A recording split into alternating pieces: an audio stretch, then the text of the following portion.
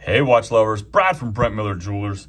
And today I have for us the King Seiko SPB 371. This is the uh, more newly released 39 millimeter version with the date window here. This is the lovely blue dial. It's the only one of these I've gotten in stock so far, and I wanted to do a quick review on it. So again, the specs on this one, I measured above the crown, diagonally across, at an even 39 millimeters, true to size.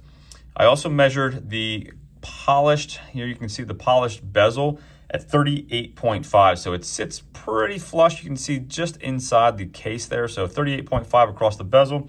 And then on this boxed kind of domed sapphire crystal, I measured that at 37.1. So um, I'm sorry, I'm reading my notes wrong. That's the 371 model, 33 millimeters across the uh, the crystal. That would be a large crystal, 33 millimeters. Um, 12.2 millimeters thick, 46 millimeters lug tip to lug tip. However, we do have the male end link, so an effective lug to lug of 50.6. We have a 19 millimeter lug width, tapering down to 17 at the last link here. And then we have a butterfly style clasp.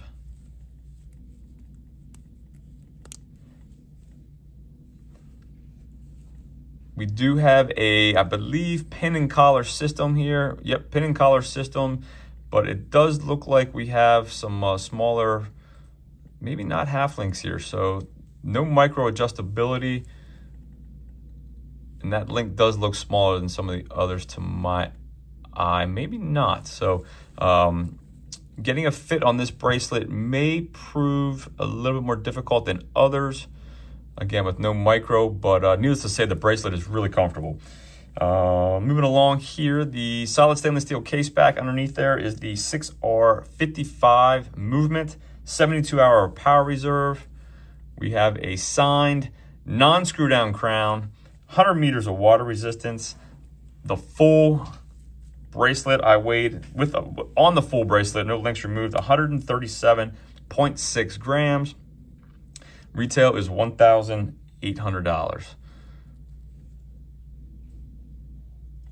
Absolutely love the 12 o'clock markers and just the detail on those. Overall, I think it's just a really a nice, attractive looking watch. If you did 37, the prior, the first uh, first iteration of these, if the 37 was too small for you, this may be uh, a great option as well as if you needed a date or want the date complication. So let me throw this on my six and three quarter inch wrist. Unfortunately, I do not have a 37 millimeter in stock at the moment. However, our director owns the red one, and I've asked for her to bring that in. If uh, this is still in stock when she brings it in for me, I will certainly do a, uh, a review comparing the two. I think it'd be fun just to see size difference of the 37 to the 39.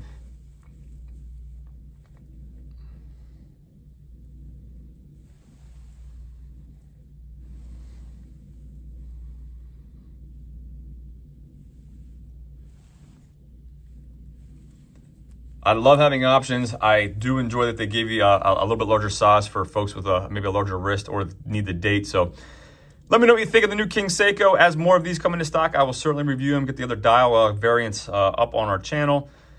If there's anything I can do for you, shoot me an email, brad at brentlmiller.com. Thanks for viewing, and we'll see you in the next video.